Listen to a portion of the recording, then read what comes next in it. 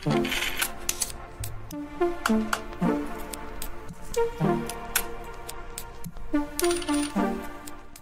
வாரம் பிறந்தநாள் திருமண நாள் கொண்டாடுகிறவர்களுக்கான கத்தருடைய வார்த்தை சங்கீதம் முப்பத்தி நான்கு எட்டு.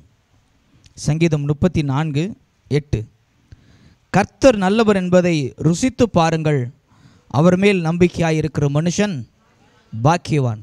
கர்த்தர் நல்லவர் என்பதை ருசித்து பாருங்கள். அவர் மேல் நம்பிக்கையாக இருக்கிற மனுஷன் பாக்கியவான்.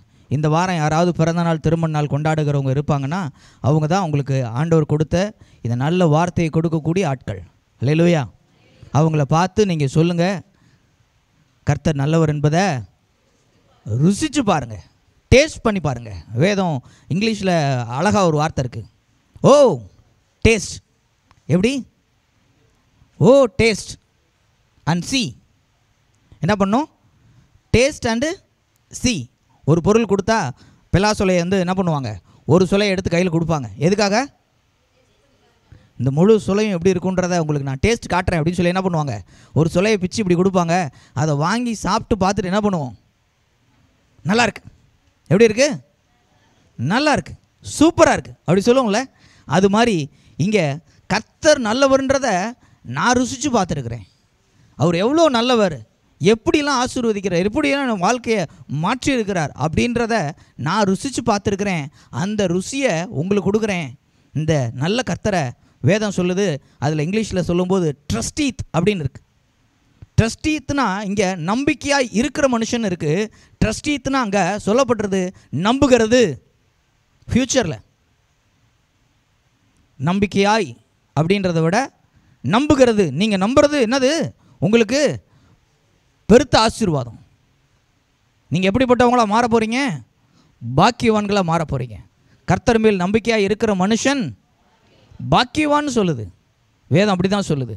அதனால் இந்த வாரம் பிறந்தநாள் திரும்ப நாள் கொண்டாடுகிற உங்களை பார்த்து நாங்கள் சொல்கிறோம் நீங்கள் கர்த்தரை நம்புறதுனால நீங்கள் ஆசீர்வாதமாக இருக்கீங்க. பாக்கியவான்களாக இருக்கீங்க.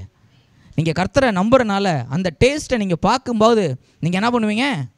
பாக்கியவான்களாக பாக்கியவதியாக அந்த வருஷம் முழுவதும் உங்களுக்கு நன்மை உண்டாயிருக்கும் பாக்கியம் உண்டாயிருக்கும் க்ஷேமம் உண்டாயிருக்கும் உங்களோட வாழ்க்கை ஆசீர்வாதமாக இருக்கும் அப்படின்னு சொல்லி அவங்கள நம்ம வாழ்த்தி ஆசீர்வதிக்க போகிறோம். அலையிலோயா கத்தர் நல்லவர் என்பதை ருசித்து பாருங்க. சொல்லுங்க.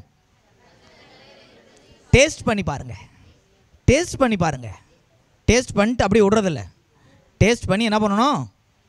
பார்க்கணும். சாப்பிட்டவொடனே மறந்துடக்கூடாது. சாப்பிட்டுட்டு எப்படின்னு பாருங்க. எப்படின்னு பாருங்கள் அந்த பெரிய பலாசொலை எப்படின்னு பாருங்கள் நீங்கள் சாப்பிட்டது சின்னது தான். ஆனால் அவர்கிட்டருந்து ஏராளமான நன்மைகள் ஏராளமான கிருபைகள் அவர் உங்கள் மேலே ரொம்ப பிரியமாக இருக்கிறார் உங்கள் மேலே இறக்கமாக இருக்கிறார். அவரை நம்புங்க. அவரை நம்புறது உங்களுக்கு நல்லது.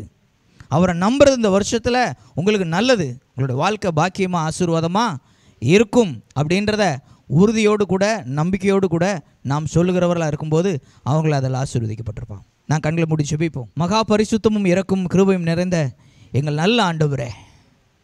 நீர் ஒருவரே நல்லவரப்பா. இந்த பூமியில் கர்த்தர் நல்லவருங்கிறத ருசித்து பார்த்து அதை மற்றவர்களுக்கு சொல்லுகிற இந்த நல்ல பாக்கியத்தை எங்களுக்கு கொடுத்துருக்கிறது. தயவுக்காக நன்றி செலுத்துகிறோம். இந்த வாரத்தில் பிறந்த நாள் திருமண நாள் கொண்டாடுகிற பிரியமானவர்களை இயேசு கிறிஸ்து என்கிற நாமத்தினால நாங்கள் வாழ்த்தி ஆசிர்வதிக்கிறோம். அவருடைய வாழ்க்கையில் எல்லா பாக்கியமும் உண்டாயிருக்கட்டும் எல்லா நன்மையும் உண்டாயிருக்கட்டும். கர்த்தரை நம்புகிறதனுடைய வெளிச்சம் அவருடைய வாழ்க்கையில் பிரகாசிக்கட்டும்னு சொல்லி நாங்கள் சுபிக்கிறோம் கர்த்தர் அவர்களை ஆசிர்வதிங்க அவர்களை பெருக பண்ணுங்க.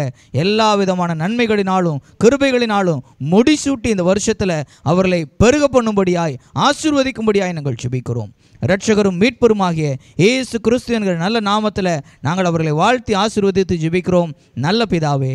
ஆமேன் ஆமேன்.